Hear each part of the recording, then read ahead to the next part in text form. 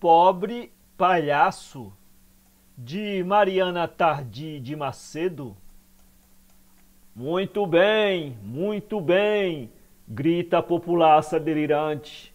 E, no entanto, o admirável palhaço mitiga a grande dor nas suas piruetas desengonçadas e, como se despedaçando, encobre o copioso pranto no seu ruidoso gargalhar e, agitando seus nervos de aço, gargalha sem parar, não o seu riso peculiar, mas um riso desentoado, e gargalha sem ter calma para expandir a aflição que lhe vai na alma.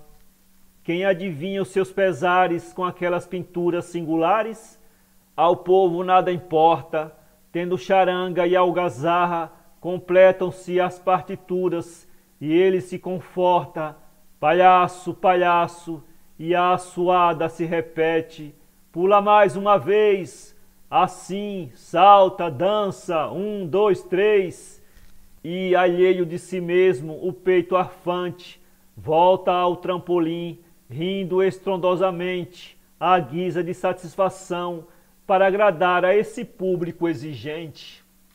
Com aquelas pinturas singulares e os seus formidáveis nervos de aço, quem adivinha os recônditos pesares que ele encobre num disfarce magistral? Pobre palhaço! www.poeteiro.com